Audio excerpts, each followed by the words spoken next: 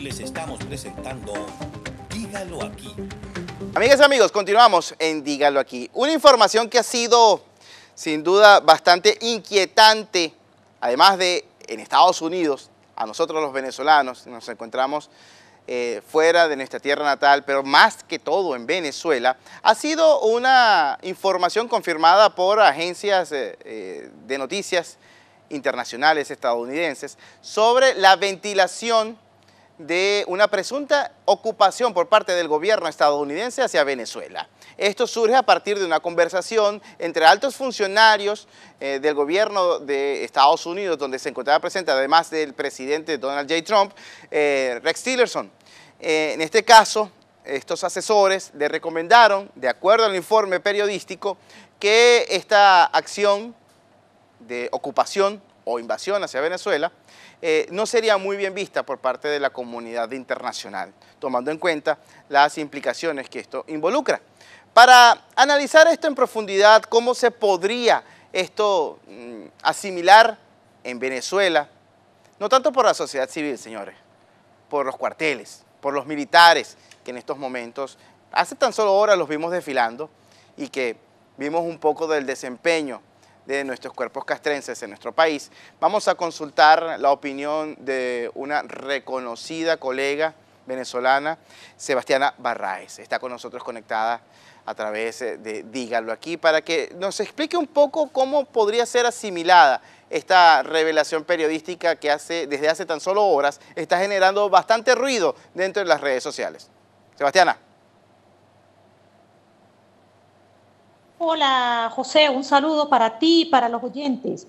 A ver, es sin duda que una información de ese tipo pues causa inquietud, no solamente tal y como tú lo señalas en la sociedad civil, sino particularmente en el caso de los cuarteles. Em, a ver, yo creo que a pesar de que el gobierno ha insistido en que esa es una posibilidad, y que realmente las amenazas que pudiesen existir de una intervención militar serían provenientes de Estados Unidos y en, o en tal caso de Colombia. Mira, la, la verdad es que en, en, el ámbito militar eso se ve con muy pocas probabilidades. Eh, bueno, primero porque, como sabemos, las, nuestras fronteras no están eh, ni protegidas, no están blindadas ni siquiera ante las simples invasiones de eh, paramilitares y de guerrilla. Por una parte, eh, pues digamos que la posibilidad de que realmente pueda enfrentarse una, una intervención eh, militar extranjera, pues digamos que se ve como mucho más lejano. No sé si es más por el, por el, por el deseo de que eso no ocurra, porque, bueno, porque no, no existiría la posibilidad de poder enfrentar algo similar, o porque realmente hay certeza de que en los países latinoamericanos, mm, sobre todo en el caso de los latinoamericanos, de los, países del sur de América específicamente, no, no existe el ánimo de eh, apoyar una decisión de este tipo con relación a Venezuela y con relación a ninguno de los países del sur de América. Eh, y, y, hasta ahora el, un poco el convencimiento que ha habido es que eso no es probable que se lleve a cabo. Así es, Sebastián. Eh, de acuerdo a lo que es la política internacional, creo que mucho se ha superado a lo largo de las últimas décadas en relación a este tipo de decisiones. Sin embargo, no se deja de asimilar a Venezuela como un peligro en el hemisferio. Ahora, entendiendo esto, entendiendo un poco también cómo le sirve a Maduro este tipo de informes, este tipo de revelaciones periodísticas para generar incluso comentarios de su propia boca para tratar de dar una imagen de fortaleza dentro de las Fuerzas Armadas. No hay hambre precisamente en los cuarteles, no hay impericia eh, de parte de nuestros militares en estos momentos. Sebastiana. Mira, José, yo creo que puedo asegurar casi sin, sin ninguna duda de que en estos momentos la Fuerza Armada está viviendo su época más oscura de toda la, la etapa después del eh, golpe de Estado del año 58. Porque es una Fuerza Armada muy vulnerable,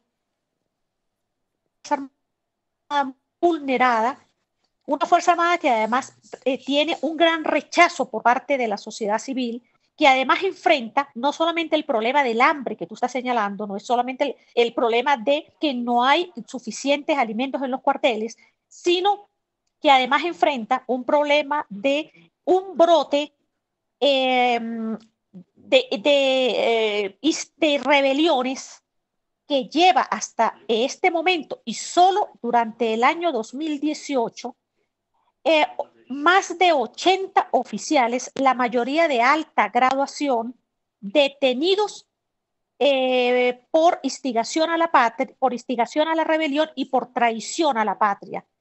Eh, esto significa, José, que nunca antes, en los últimos 50 años de la vida eh, política en Venezuela, habíamos tenido tantas conspiraciones como las que en estos momentos está, están brotando en la Fuerza Armada, y tampoco habíamos tenido una Fuerza Armada que no eh, se ocupa de algo fundamental de su, de su labor fundamental señalada constitucionalmente como es la defensa del territorio y la soberanía. Es decir, estamos hablando de una Fuerza Armada atravesando la peor crisis de las últimas décadas que ha vivido esta institución.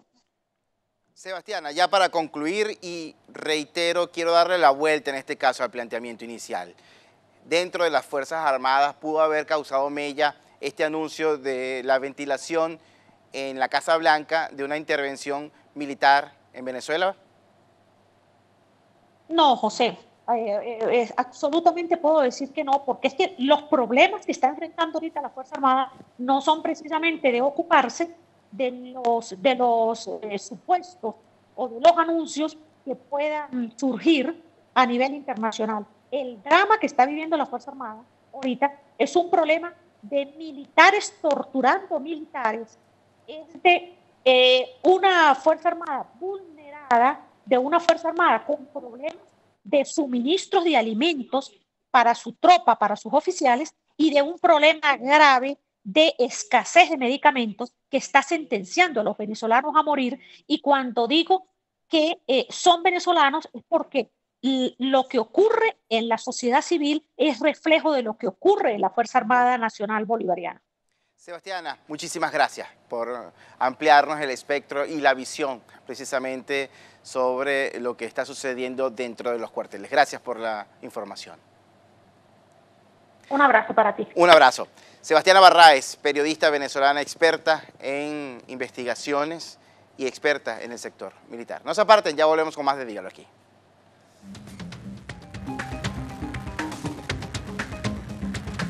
Les estamos presentando